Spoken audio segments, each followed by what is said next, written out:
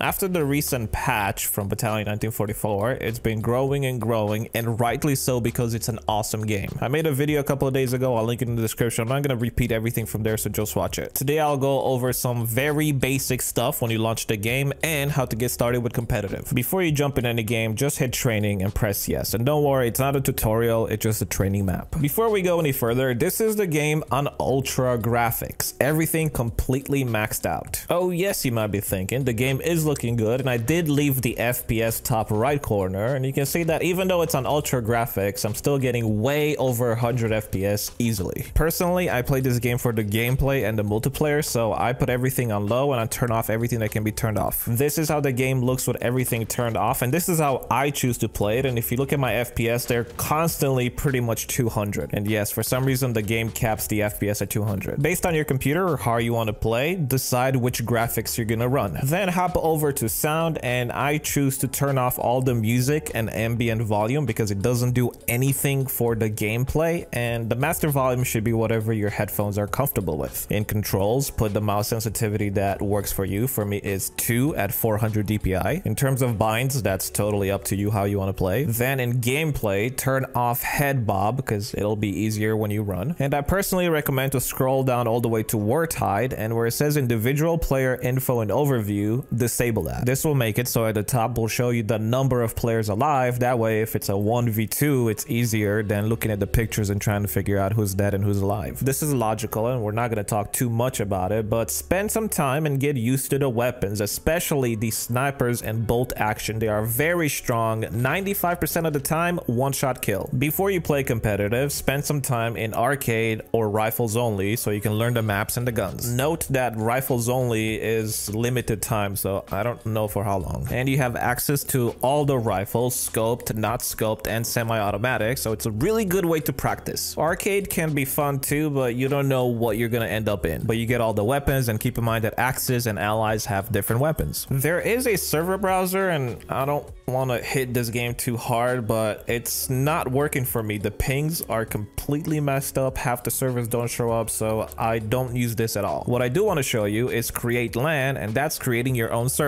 I'm going to put this little tab on default, so this is exactly what you should see when you launch this. These are all the maps that you can play, and I know it looks like a lot of them, but trust me, they're pretty easy to learn. For this video, let's say that we want to learn coastal. We can choose one mode to practice. Most of the time is going to be Wartide because that's what competitive is. You can put a server name and a password, but keep in mind that it's a local area network server. I'm not going to go through all the options, but click on server and turn on strat mode because this will allow you to do various training abilities. After that, start a server, auto assign, and if you want to just roam the map, don't press F1 to ready up, and you can roam the map for as long as you want to. If you Google Battalion 1944 server commands and let's click on the first link, you will get a list with everything that you can use. Once the server is started, you can change the map, the mode, everything just from console. By default, the console key for me was tilde, so I think it's the same for everybody. If you want to practice grenades and smokes, for example, I'm going to type in server.give grenade a thousand, and now I have a thousand grenades. For smoke grenades, I'm going to type in server.give smoke grenade a thousand and one, and now I have a thousand and one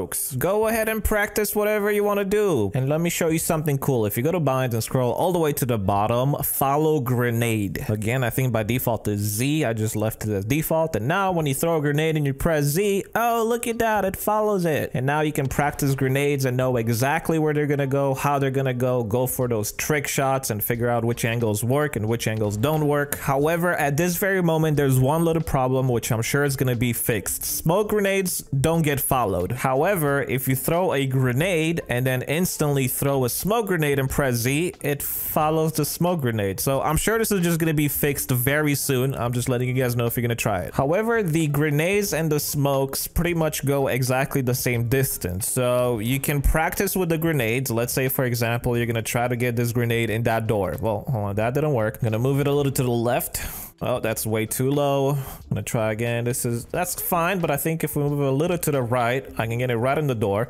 So this is with the grenades. Now I can throw a smoke grenade and the smoke goes exactly where I practiced with the grenades. Again, this is probably just to be fixed in one little patch. I'm not to spend too much time on this, but you can do server dot add bot and this will add bots in the map so you can practice offline with bots. The game was designed for 10 to 12 players. So if you add like 70 bots, your game is going to be very laggy. If you want to practice the way a competitive game would be, just ready up with however many bots you want to play and it'll start a game the way you would do in competitive. First is going to be the knife round. And I know everybody has pistols, but nobody has ammo and you just got to knife the other team and whichever team wins, they will choose on which side to start, allies or axis. And then the game is going to start a regular 5v5 or 5v7 if you don't know how to add bots properly. I'll explain competitive to you guys. Let me just do it from a CSGO perspective because most of you guys understand CSGO. 16 rounds is what you need to win, which means that you play 15 rounds on one side and then you need one more round on the other side in order to win. There is the case where you play 15 rounds and 15 rounds and there's 30 rounds total and the game ends in a tie. Comparing that to Battalion 1944, you need 13 rounds to win, meaning that you need 12 wins on one side, one on the other side, and then you win. There's also the case where you win 12 rounds and lose 12 rounds, which ends up in an overtime and you have to play six more rounds. Three on one side, one on the other. You have to win with four out of the six rounds. If you don't win them, and let's say you lose the other three, then you're back to overtime and you do another six rounds and another six rounds until somebody wins. Playing competitive is very easy. You hit play, you hit competitive, log in through your Faceit if you have to. You don't need to have Faceit Premium. You can easily do it with the free one and then you can do 5v5 or 1v1 and just hit find match. You can play solo or with friends and once it matches you with people, you hit accept. One player from each side is going to be a team captain. And don't be scared if you're ever the team captain, all you have to do is drop the maps that you don't want to play. And you go back and forth dropping the maps that you don't want to play. And of course you can talk to your team like, hey, should we play this map or whatnot until one map is left and that's the map that you play. When everybody is connected, you're all going to start out with a 5v5 knife round and whoever wins the knife round decides which side they're going to play. In the buy menu, you can see how many tokens you have or coins, whatever you want to call it, and you can get a weapon for free every round or you can upgrade to something else and you can see the different pricing that it costs. On the left, you see your team and their loadout and how many tokens they have and what they buy. And if you want to give them tokens, you can press donate and it will give them one token and you can press it as many times as you have tokens. Tokens you get at the end of the round, depending how the round went. You get bonus for winning, kills, objectives, etc. Whatever weapon you have, you cannot drop it, which means at the end of the round, if you want to pick up a sniper for your teammate, you're not going to be able to give him the sniper because you can't drop weapons. That's why you have the donate system. I'm only saying this because I've seen it happen multiple times. If you cannot hear your teammates or you cannot talk and you change your input and output device or whatever you do over there, you might have to restart your game in order for it to take effect. Whenever you hit an enemy, you're going to get hit markers if it is a clear shot. But if you want to shoot through walls, you can, the thin ones, and you will do damage, but you're not going to see the hit markers. You have two weapons, your main and a pistol. If, for example, you take out an enemy or you find a dead body that has another gun, you can swap for it. And the smart thing to do is to switch to your pistol, then swap the weapon, and now you have two good weapons. If you survive the round, like any other game, you get to keep your loadout for the next round. However, little note, if you already have the weapon on the ground, you can't pick it up again. You can't have two of the same guns on you. When somebody dies, if they have a grenade and a smoke that they didn't use, it just simply falls on the ground. So all you have to do is walk over them and you pick them up. You can only have one of each. The game is going to change colors a little bit. I'm doing this in post editing. Look around my screen once I get hit. You will see that my screen goes a little bit red. That means that I am hit. There is no meds in this game, but there is health regeneration like it is in Call of Duty. So all you have to do is stay out of combat and you can see it going away. And as it goes away, you start healing and you get back to full health. You personally don't have a health bar, but right here at the bottom, you can see my teammate got hit. He waited a few seconds and this is the speed that you regenerate your health all the way to full. Ignore the shooting in the background for a second, but you can run and you can walk and obviously they're to hear your footsteps. But if you aim down sights or you walk while crouched, you move a lot slower, but you don't make any noise at all. Let's say I won this round and I end with this loadout, a rifle and a sniper as my secondary. It does cross over to the next round, no problem. But if I bring up the menu and I buy a gun, even one that's worse than the one I have, it will replace my main gun. Even if you switch to your secondary weapon, then buy one, it'll still replace your main gun. Because I think it's supposed to be so you don't replace your pistol in base with another gun, only if you get to pick it up off somebody. After you played a total of 12 rounds, then you switch sides and you play with the exact same team, but on the other side of the map. This is how the bomb looks like, and you gotta either plant it A or B. It's just like in CSGO, only the terrorists can move the bomb, only you and your team can move it. The other team cannot touch your bomb. The rounds are normally 1 minute and 45 seconds. It takes 5 seconds to plant the bomb, 7.5 seconds to defuse the bomb, and the bomb goes boom after 50 seconds. Other than that, I don't think there's any other basic stuff that I need to mention because I made this video thinking that, hey, if somebody bought the game today and wanted to learn more about it to get started, what video could that person watch? And that's why I made this video. And I think this gives a very good overview of how to get started. And from here on forth, is just learning weapons, smoke, grenades, and so on to just get better at the game. But I think the basics are covered right here. I want to thank you all very much for watching this video. I hope you have enjoyed it. Bless your beautiful, beautiful soul. Hugs and kisses, and I'll see you guys later.